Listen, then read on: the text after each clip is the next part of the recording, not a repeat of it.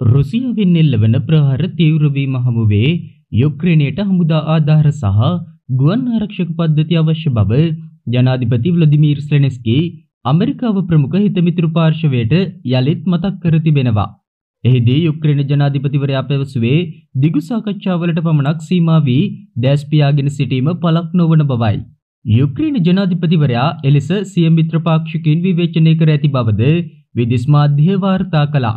රුසියානු හමුදාව බ්‍රහස්පතින්දා යුක්‍රේනයේ ප්‍රධාන නගර පහකට ප්‍රහාර දියත් කළ අතර එම ප්‍රහාර හමුවේ අවම වශයෙන් පුද්ගලින් හත් දෙනෙකු ජීවිතක්ෂයට පත්ව තිබෙනවා. එමෙන්ම රුසියානු ප්‍රහාර හමුවේ යුක්‍රේනයේ ප්‍රධාන පෙළේ විදුලි උපපොළවල් සහ විදුලි ජනන පහසුකම් ඇතුළු යටිතල පහසුකම් වලට හානි සිදු වූ බවයි යුක්‍රේන බලධාරීන් ප්‍රකාශ කළේ.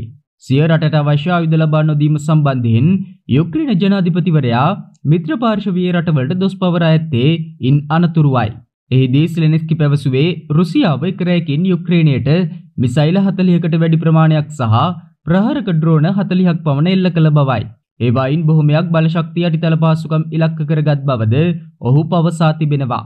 මේ වන විට පවතින තත්ත්වය අනුව යුක්‍රේනයට ගුවන් ආරක්ෂාව තීරණාත්මක වී ඇති බවයි යුක්‍රේන ජනාධිපතිවරයා පවසා ඇත්තේ. එබැවින්ම රුසියානු මිසයිල සහ ඉරානය විසින් නිර්මාණය කරන ලද ඩ්‍රෝන යාන සඳහා යුක්‍රේනයට පහර දීමට ඉඩ නොදිය යුතු බවද ඔහු බටහිර බලවතුන්ට පවසා තිබෙනවා.